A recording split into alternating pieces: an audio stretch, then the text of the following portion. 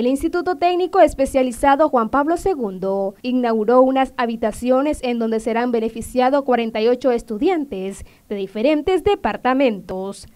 Eh, después de agradecerle a Dios, la Fundación Colmena con ANF son los que han hecho esta donación. Como decía Dayana, es un sueño personal porque tenemos gente que viene desde Bluefield, desde Ginotega, desde Rivas, lugares muy lejanos y no tienen familiares aquí en Managua.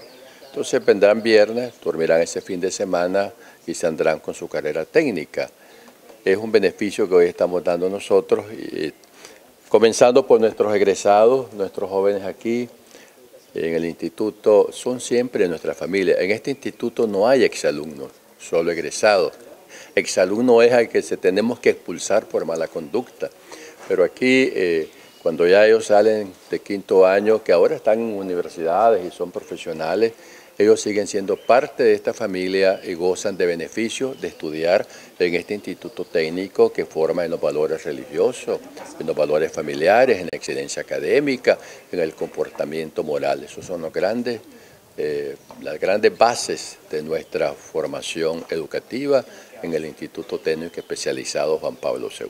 ¿Qué técnica está ofreciendo el instituto?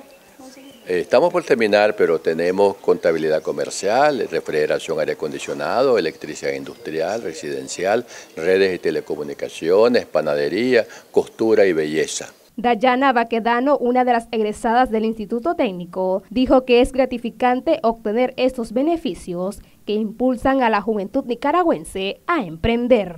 Bueno, este proyecto no nace desde hoy, es un proyecto que Monseñor ha tenido por muchos años para poder dar eh, comodidad a personas que no tienen recursos económicos necesarios para una educación técnica, tanto escolar como técnica, porque ahora es muy importante saber que en nuestro país ser un técnico es, bastante eh, beneficioso para nosotros. Hoy pequeños emprendedores somos los que estamos aquí, también universitarios, para poder pagar nuestros estudios. Por ejemplo, algunos somos pasteleros, otros eléctrico. Y Monseñor, este proyecto que trae es tan beneficioso para nosotros.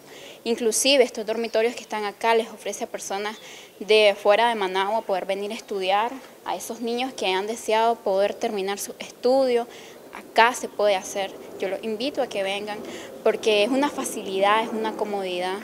Eh, las carreras técnicas que ofrecen son beneficiosas. Yo, por ejemplo, he podido sostener mi estudio y ayudar a mi mamá con la carrera de repostería que yo la aprendí acá.